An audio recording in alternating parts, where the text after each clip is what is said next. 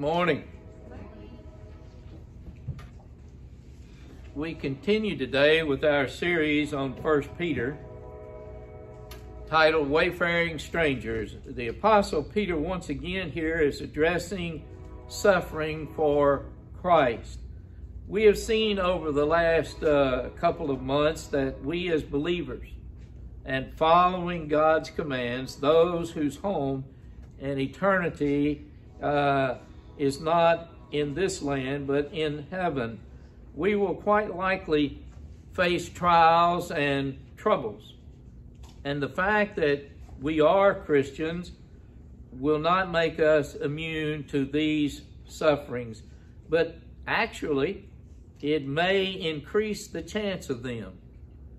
However, with our eyes fixed tightly on Jesus Christ, we can not only overcome and thrive and grow in these hard times. In a perfect world, those who have placed their trust in God would not face troubles. However, we live in a sin filled world. And as we have discussed many times, the world, Satan, and even some of our friends and families, they don't like the new us as Christians. So troubles come our way.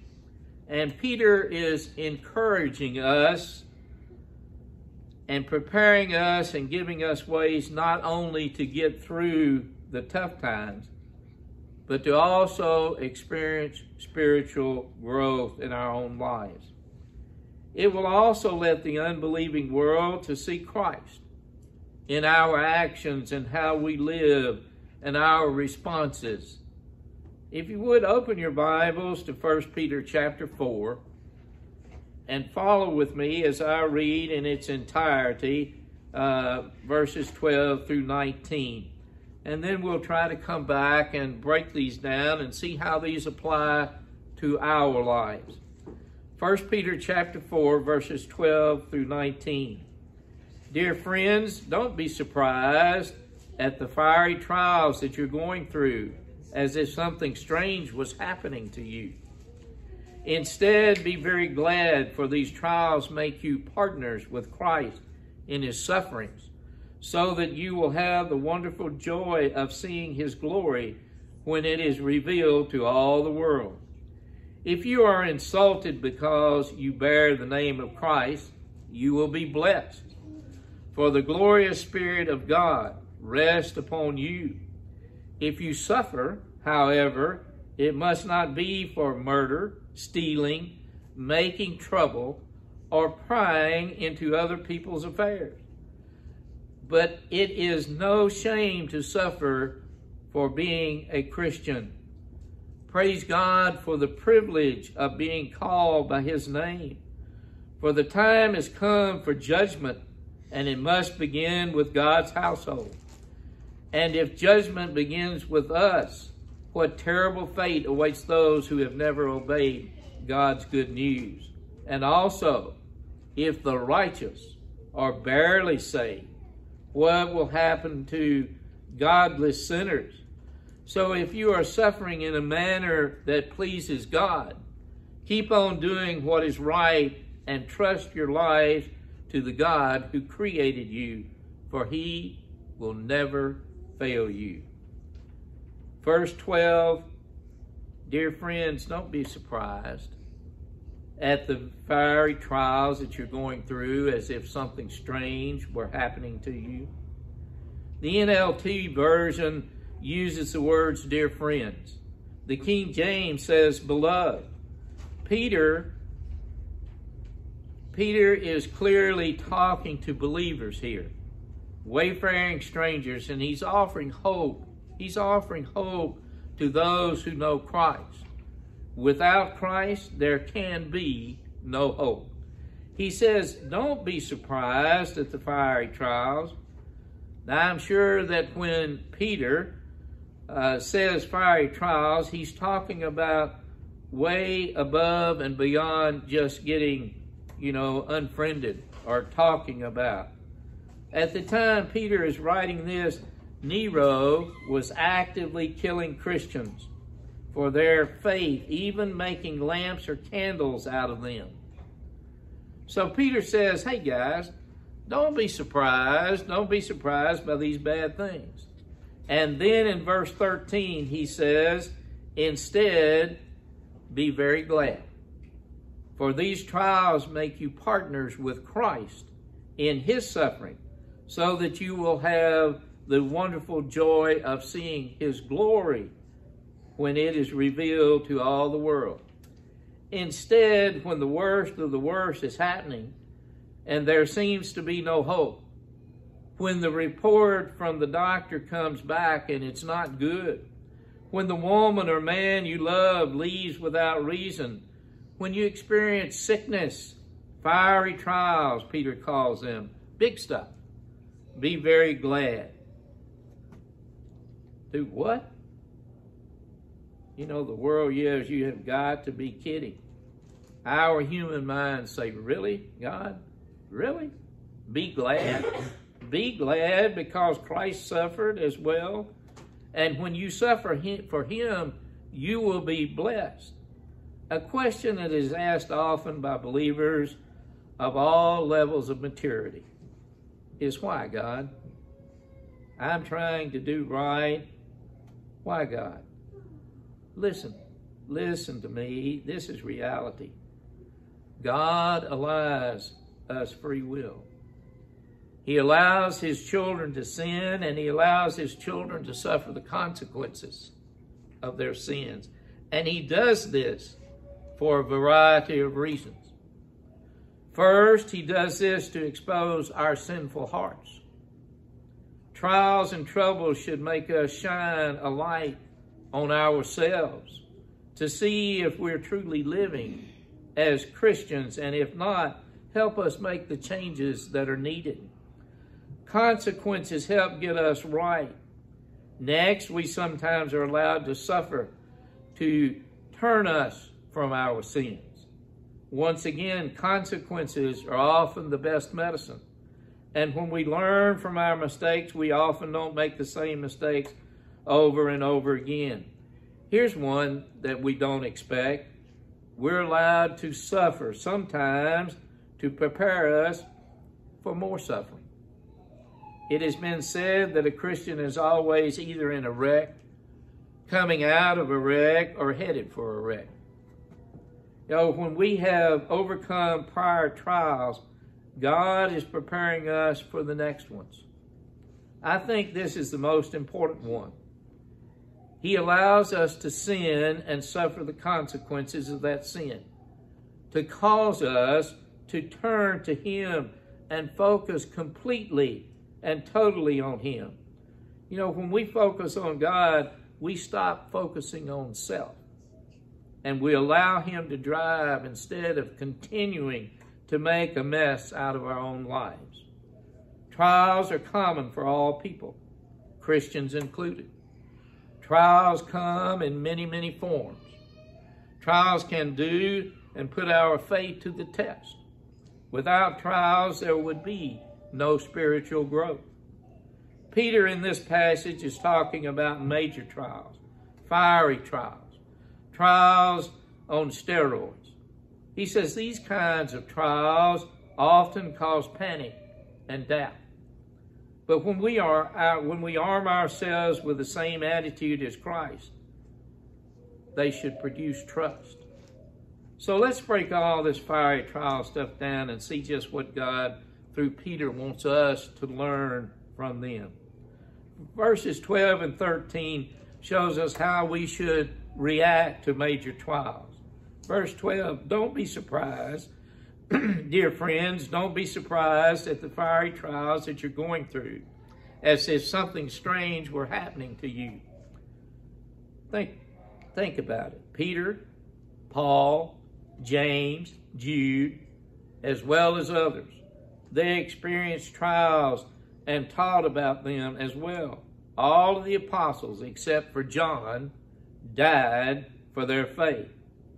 What all these great men of the Bible are saying is simply don't be blindsided by trials, expect them. Verse 13 says, Keep on rejoicing, Instead, be very glad, for these trials make you partners with Christ in his suffering, so that you will have the wonderful joy of seeing his glory when it is revealed to all the world. Praise God when the tough times come. Praise God. Never stop rejoicing that you have been delivered, that you have been redeemed, that you have been saved, Praise God that Satan sees you as a force to be reckoned with. When we don't get blindsided and we rejoice in all things, these reactions, brethren, will help build a deeper relationship with Christ and will bring greater rewards in this life and the next. These are reactions of believers to major trials. Then Peter, Peter says that we are to remember a few things in those trials. If you are insulted because you bear the name of Christ, you will be blessed. For the glorious Spirit of God rests upon you. First, trials give us an opportunity to pull on God's power and strength instead of relying on our own. The proper response lets others see his power and strength as well. Next, as much as we want to deny it, sometimes suffering is deserved. Verse 15 If you suffer, however, it must not be for murder, stealing, making trouble, or prying into other people's affairs. Peter simply says that if you're suffering for doing the wrong stuff, you're getting what you deserve, reaping what we sowed. Then he says, remember, it is no shame to suffer for Christ. Verse 16, but it is no shame to suffer for being a Christian. Praise God for the privilege of being called by his name. Consider it pure joy, James says, hold your head high. It is our privilege to suffer for the one who suffered for us. And we should praise God for the privilege of being his child. The next one, though, is hard. Verse 17, the first part, For the time has come for judgment, and it must begin with God's household. Sometimes suffering is needed. We are human beings and human sin. And that's why we ask for forgiveness for our sins. We know that the blood of our Savior covered our past, present, and future sins. When we are baptized, we are truly forgiven, and his blood continues to cleanse our sins as we follow his commands. Trials are helping in our spiritual growth. The trials we suffer as Christians will pale, brethren, in comparison to the ones the unbelieving world will face in eternity. Verse 17 and 18, the latter part of verse 17 and 18, and if judgment begins with us, what terrible fate awaits those who have never obeyed God's good news. And also, if the righteous are barely saved, what will happen to godless sinners? Let me just try to put this in very simple terms. Brethren, there is nothing, there is nothing that this old world can throw at you and me to make a dent in the suffering of those who choose to spend eternity apart from God.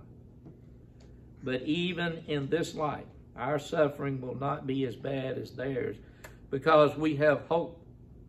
Imagine trying to get through a major illness or one of the thousand other trials and troubles and hardships that can happen without God. Can you imagine going through a real tough illness or, or even someone in your home or family passing away without God. You see, Christians have hope. We have assurance of the coming peace. And we have the knowledge at the end of the day or the end of this life, there is God waiting to wrap us in his loving arms forever. The lost don't have assurance. They don't have hope. They don't have the vision of being held by God. So I can't imagine how they deal with troubles. Peter tells us in this passage how to react to trials, what to remember in the trial. Then he closes out this chapter with what I believe is the key. He tells us who to rely on in trials. Verse 19. So if you're suffering in a manner that pleases God, keep on doing what is right and trust your lives to God who created you, for he will never fail you. If you're suffering for Christ, keep doing what you're doing. It's working. And I can tell you, Satan's not happy. And trust your lives to the God who created you, for he will never fail you. The world, the word trust is translated in trust in other versions, and it means commit. In the same word used in Luke 23, when Jesus said, Into your hands I commit my spirit. Complete, complete, and total trust. In God alone, we place our trust, and nothing, nothing can stand against us. You know that trials, troubles, hardships, they all cause pressure. And pressure can increase strength or it can destroy it. Hudson Taylor, someone who understood trials and pressure, was a missionary to China in the 1800s, and he was there for over 51 years. And he said these words It doesn't matter how great the pressure is. What really matters is where the pressure lies, whether it comes between me and God or whether it presses me nearer God's heart. So, what now? What now? How do we apply this? How do you and I respond to trials with the attitude of Christ? For us, trials should draw us closer to God. The unbelievers resist, resent, and even cave in under the weight of trials. Brethren, we don't have to. We serve a God who can and who will. God will never waste a hurt or a trial. When we give Him the glory, he can and will turn the bad to good, the sorrow to joy. Don't be surprised by these trials. Don't stop rejoicing. Use trials to lean on God and His power and His strength.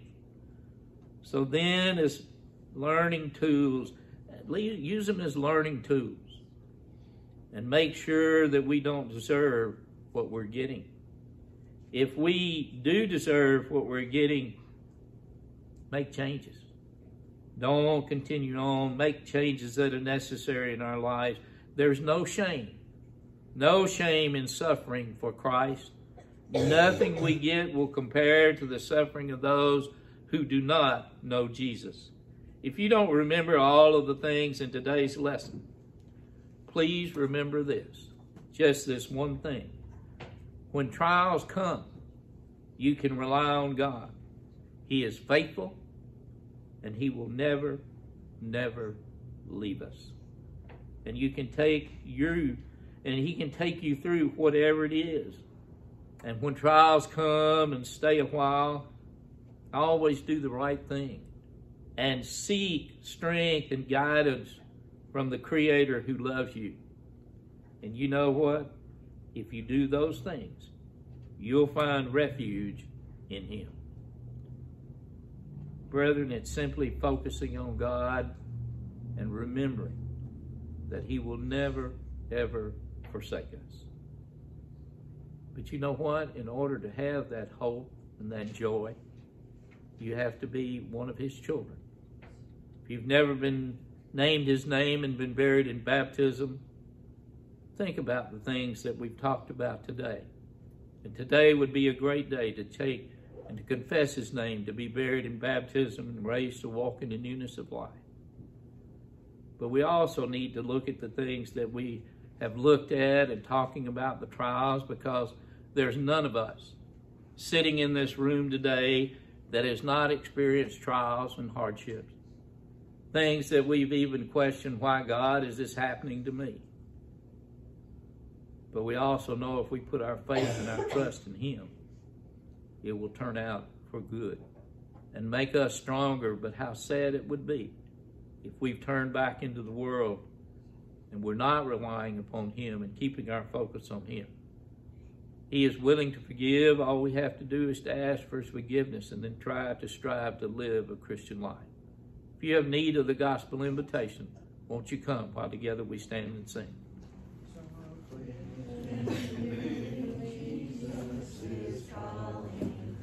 Calling for you.